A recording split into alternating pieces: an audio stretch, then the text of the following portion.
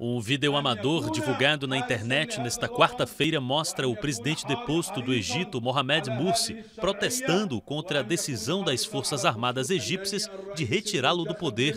Morsi disse que foi vítima de um golpe de Estado e pede apoio da população. Eu sou o presidente eleito do Egito e todos devem respeitar a Constituição.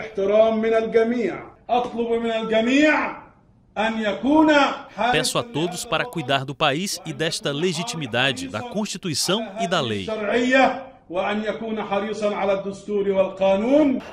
Após uma semana de manifestações em massa por todo o país pedindo a saída do presidente Mursi, o exército do Egito cercou o palácio presidencial nesta quarta-feira e tomou o poder. O governo foi entregue ao presidente do Conselho Constitucional, Adli Mansur, até que um novo presidente seja eleito. As Forças Armadas também suspenderam a Constituição egípcia.